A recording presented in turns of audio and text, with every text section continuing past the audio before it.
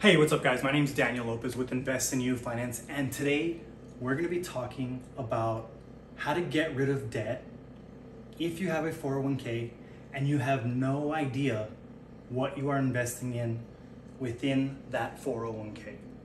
So, I want to talk about this hypothetical person, Sally, and she's $10,000 in debt on credit cards, and she has a 25% annual percentage interest rate. So she's concerned about her debt and how it, it can continue to get worse if she continues spending the way she does. However, she doesn't know what to do. She's in debt. Um, she's just lost. And Sally remembers hey, I've been watching these YouTube videos about this crazy guy talking about how to get rid of debt. What if I apply what he's saying just to figure out on my own what the calculations will be? And then I can ultimately make a decision whether I want to do something or not. So Sally gets a pen and gets a piece of paper, looks up a compound interest calculator online, and starts crunching the numbers. She figures out that if she continues to make the minimum payment on her credit card every year for five years, she's gonna have more debt, more debt, more debt. Year one, she's gonna have $12,500. Year two, 15,000 $600. Year three, $19,000 in debt. Year four, $24,000 in debt. Year five, $30,000 in debt because she's not paying off her credit card in full every month. She's overspending and she's only paying the minimum payment. So she's, you know, getting stressed out. She wants to get out of this debt. And she remembers that she heard someone say, hey, you could take a 401k loan out. But she's skeptical because she also hears, oh, if you take a 401k loan out, your retirement is, you know, it's not going to grow and blah, blah, blah. So she's, you know, she's confused and she has mixed emotions about it. But she knows that if she gets a piece of pen and paper and looks up a calculator, she can calculate it and figure it out and see if it's going to work out for her or not. So currently her situation is she has a 50K salary. Her 401k right now has $11,000 sitting in her 401k that she's put in herself. She's contributing 5% of her paycheck to her 401k. 5% of 50K, that's $2,500 yearly. So divide that by 12, you get $208 per month. But also, Sally does not know what her annual rate of return is. When Sally was hired at her corporate job or wherever she was hired, she remembers that they were saying, hey, it's time to sign up for your yearly benefits. If you don't choose an investment, we'll automatically choose one for you. So Sally says, oh man, I don't even know what I'm investing inside of my 401k. But she saw a video online that shows you how to choose your funds inside your 401k.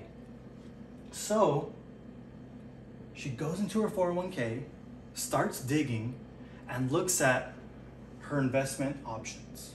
Her investment options show that the company signed her up for a moderate fund. The moderate fund receives anywhere from like a 3 to 5% annual rate of return. So currently she's contributing 5%, which is $208 every month, and she has an annual rate of return of 5%. She calculates that out and she realizes, okay, if I continue with this for the next five years, year one, I'll have 14,000.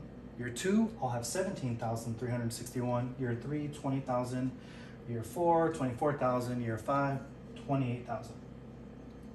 So if she has $28,000, she still has the $30,000 of debt, right? So she's like, okay, well, at least I know this is where I'll be at in five years. Currently, with my investment options that I have inside my 401k.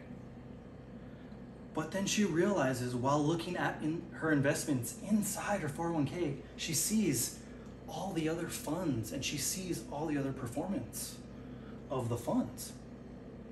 And she's like realizing this is what it means when every year they say, hey, it's time to enroll in your benefits. At the same time, it's time to enroll in your health benefits, and you can decide on whether you want to get an HSA, health savings account, or not. But also, you can change your contribution anytime you want, and you can also change your investment option anytime that you want inside your 401k. So Sally's like, oh my God, like this is what I should have been doing. Like I should have been concentrating on what investments I was investing in. She's like, I'm looking at these funds and some of them have a better performance than the fund that uh, I'm automatically enrolled in. So she sees a fund which is mimicking the market, and that fund is yielding a 7 to 10% annual rate of return. So, you know, she's starting to think and, and realize like, well, automatically I need to change what my fund that I'm investing in is. So, no matter what, I'm gonna change that because a 5% rate of return, that's good, but I want a better rate of return. So ultimately, she decides to change that regardless. And she's getting excited because she's like, okay, this is what I need to be learning um, she wants to get into investing and you know she's she's hearing people say oh invest in a roth ira and all this other stuff out there on the internet but little does she know that she's already investing. Everyone out there who has a 401k they're already investing. So before they go out and start trying to invest on the side they should be looking into their 401k, looking into their own retirement account, and knowing every single fund that's inside their account so that way they can maximize their retirement. And when it grows, it can compound, and whenever you retire, you can have enough money. So Sally's realizing, like, okay, like, I need to know all the funds in my account before I start investing uh, externally so I can build a foundation, learn about investing, and take the next steps that I need so that way I can get out of debt. So she's thinking, oh, look, it says inside my 401k, take a 401k loan. Calculate how much your payment will be. So she starts thinking, okay, I remember seeing this crazy video of this guy talking about taking a 401k loan and using it to buy a house. Well, could I use the 401k loan to pay off debt? And the answer is you could use a 401k loan to do whatever you want with it. However, if you're going to take a loan out, you're going to want to use it for something that's going to benefit you. You're either going to want to take it out to, you know, 10x it, which I don't know how you can 10x it, or you want to take it out to cut down on debt so you don't crawl into a ditch that you can't dig yourself out of, or you're gonna wanna use it to start a business, whatever. I mean, whatever you wanna use it for, it's just an option out there. So she's realizing that, okay, I could take a 401k loan out. I have $11,000 inside my account. So I only need $10,000 and I could pull out $10,000 and pay off my debt. So she's like, oh, wait, this sounds too good to be true. What did I listen to this person say on the videos? Oh, yeah, make my own calculations. Okay, yeah, so why don't I grab a pen and make calculations to see if in reality it's worth it or not? Yes, she's excited. She's like, I'm gonna do this. Okay, gets the pen, gets the paper, looks up the compound interest calculator, plugs in the numbers. And what does she find out? Okay, the 401k loan is a loan that you pay back to yourself in your account.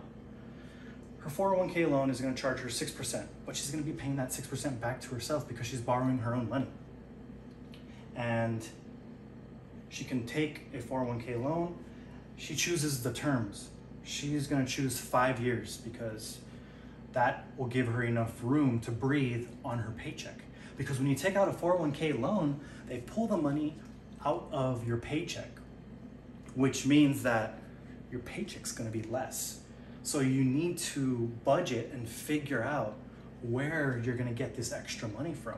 If you're tapped out and she's tapped out and she's using her credit card to pay for everything because she's you know paying on her credit card because she has no more money from her check then she has to go back, audit her expenses, and look, okay, how am I gonna free up the extra money that I'm gonna have to pay back to myself? So she runs the calculation of how much it's gonna cost her to pay that 401k loan back to herself.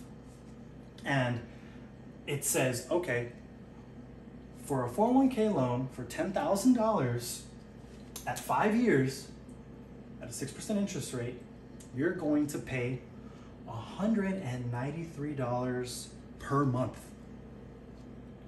And we're to pull that out of your paycheck.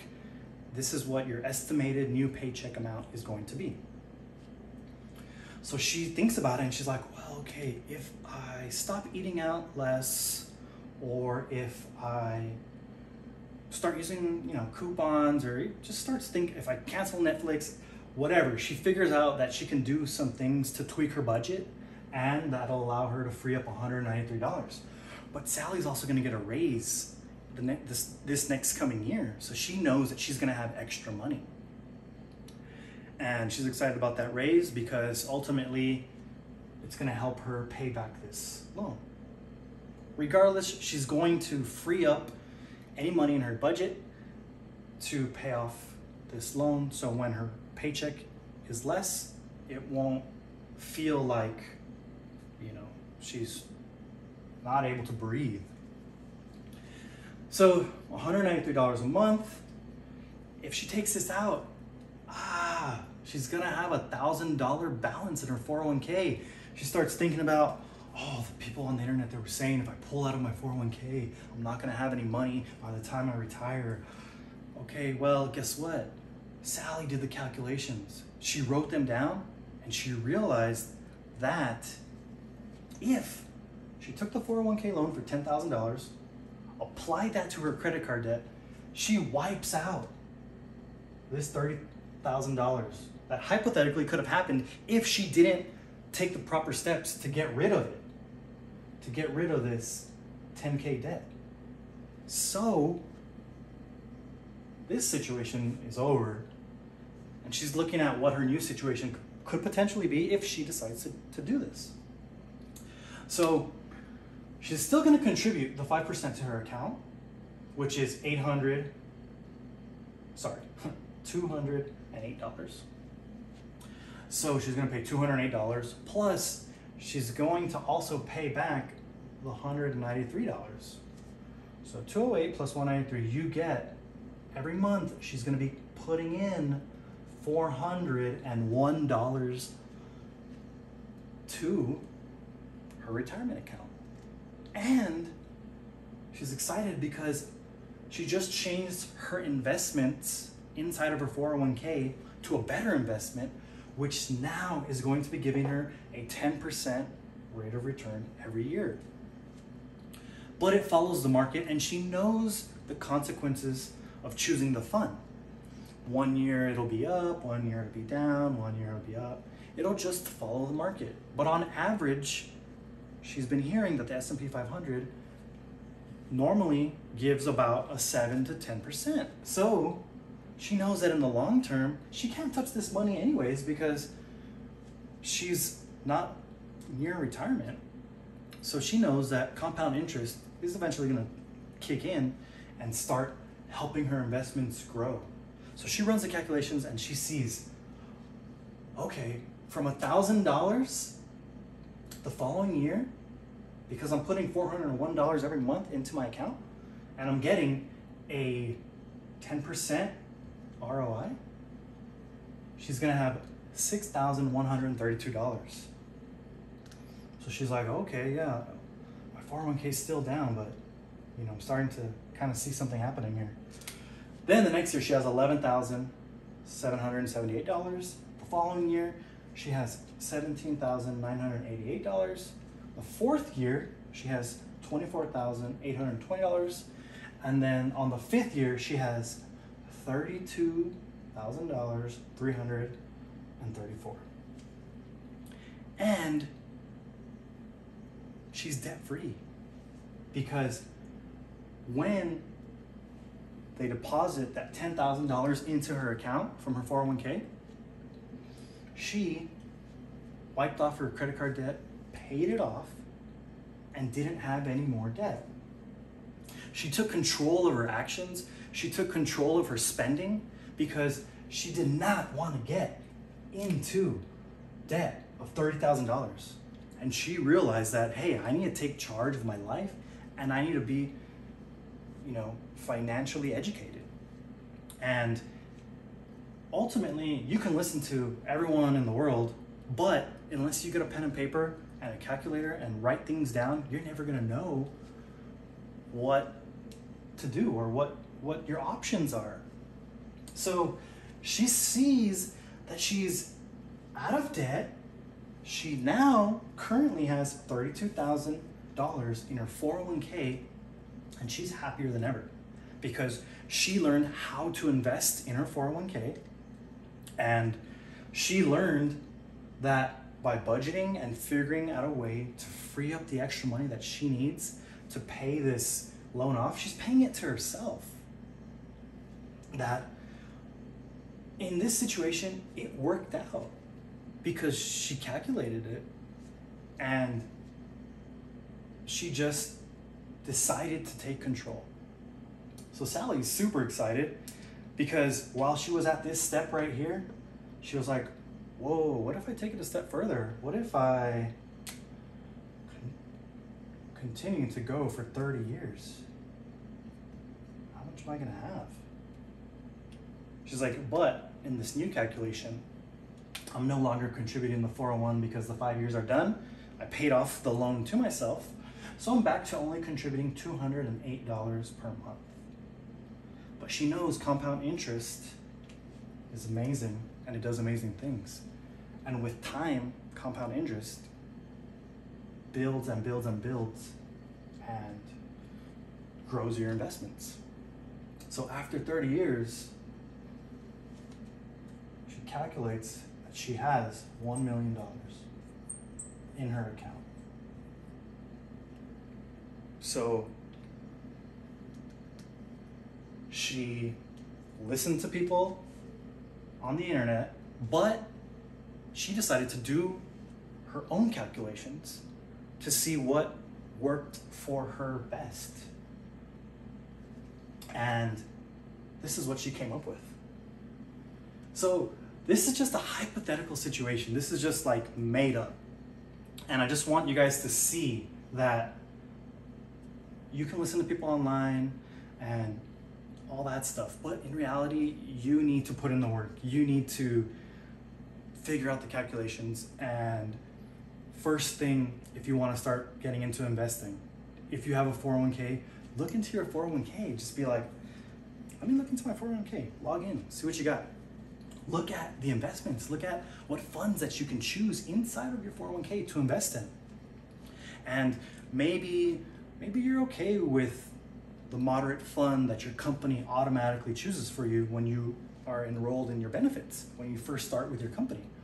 But maybe you're, you know, 22 years old right out of college and you're like, "Hey, I'm young. I want to you know, invest in the risky fund because I know that I'm young, I could take more risk ultimately, it's whatever you want to decide, and You get to choose.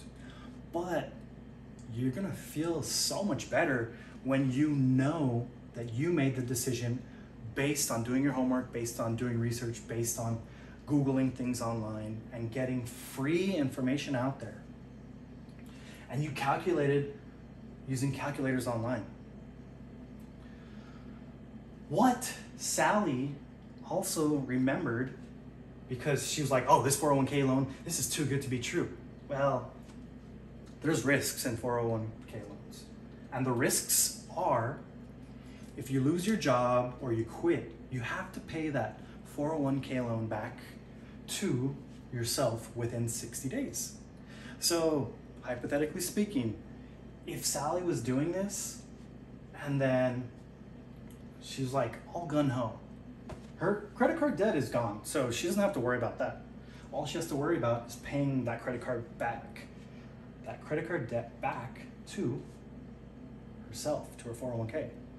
So let's just say that halfway in the year, Sally got laid off. So if her salary is 50K, that means half in the, in the middle of the year, she's only made $25,000. So half of 50,000, that's $25,000. She, she can't pay the 401k loan back in full. So she looks up, okay, what's the penalty if I don't pay back the 401k loan? Well, remember, whenever you contribute to a 401k, the money you contribute is not taxed. So it reduces your taxable income. Now, if you can't pay your 401k loan back, that money is added as if it were income. Plus, you're gonna owe a 10% early withdrawal penalty. So if she made $25,000 in the middle of the year, she can't pay the $10,000 back to herself. At the end of the year, the 401k will send her a form. That form says she pulled out $10,000. The IRS will get you for a 10 for a 10% early withdrawal penalty. And you know, real quick, instead of making her salary of you know $50,000, she quit half the year or she got laid off half the year, she made $25,000. They added the $10,000 on top of her income. So 10 plus 25, 35. So her income for the year, if she didn't get a job for the rest of the other half of the year, is now $35,000. So she has to pay taxes on the income of $35,000. In addition to that, she pays a 10% penalty um, when it's when it's time to do her taxes. So depending on if she was going to get a refund or not get a refund, the amount of money you you owe is going to be at um, that time. So that is just a risk of taking a 401k loan. So is it is it bad? Is it good? Eh, like everything, it depends on you. Do you want to you can calculate how much you're gonna have to pay and then realize, oh, well, if I lose my job, then if all else fails, this is how much I'm gonna owe. So this is what it looks like when you're trying to, to learn financial education, when you want to become financially independent. These are the calculations that you're going to want to be playing with. And, you know, just doing the exercise, you can learn a lot. Doing an, an expense budget audit to yourself will automatically show you what all your expenses are. And then you can be like, oh, I can cut down here, I can cut down here. I mean, there are so many ways that Sally could pay off this debt. This is just one example of how you could, if you wanted to, do it. So, anyways, guys, I appreciate you guys watching and thank you so much. Please like the. I got too excited please smash the like button. Please subscribe. I appreciate you guys coming. Thank you. And remember, I'm not a financial advisor. This is not financial advice. Do your own research, look up your own information, and ultimately decide what you want to do because no one is going to look out for your best interest more than yourself. If you learn about money and things like this, it's only going to help you get better and better and better. You learn about, you know, Roth 401ks, Roth IRAs. You learn about all this stuff and then you can decide what do I want to do? What are my goals? So anyways, if you guys are in debt, this is an example of what you can do. Sally needs to figure out how she got into $10,000 in debt because another situation that can happen to Sally is that she does the 401k loan, but she keeps spending. So at the end of the loan, sad face, Sally's back in debt. So find out what that root cause is. And just making an assumption, I can say that her spending is more than her income. That's, I mean, that's like, that's the easiest way to figure it out. I mean, that's like uh, black and white. Like, okay, you're in debt because your income is not sufficient. So, what can you do to bring up your income? Well, Sally knows that she's going to get a raise, so she might not have to pull out a 401k. She could just change her investment strategy and change it to 10%, and that'll help out her 401k. She's going to get a raise, so she could pay this down however she wants. This is just an example, guys. I just want to show you guys what it looks like. So, so many ways and things to do things. Like so many ways to skin a cat. That's what people say. Um, so, just think about it. What would you do? Comment below. Let me know what you guys think. Am I wrong? Am I right? What do you think? Am I crazy? Am I not crazy? Remember, I've taken two 401k loans out. One was to purchase my primary residence, and one was to remodel that primary residence. Both times I got lucky. When I pulled out the 401k loan, the market dropped. So when I was paying back the loan, I was buying everything at a discount. And that helped ultimately. If you go watch my video of how much I have inside of my 401k, you'll see that that's probably why I was able to accumulate that much money in my 401k. On top of that, I maxed out my 401k every year that I worked at my corporate job. Anyways, go check out that video. I'm gonna try and pull out as many videos as I can, um, as fast as I can. Hopefully it'll help you guys out. Can't stress how much I'm grateful you guys are watching. Please comment below. Check out my other videos, and I'll catch you in the next one. Peace.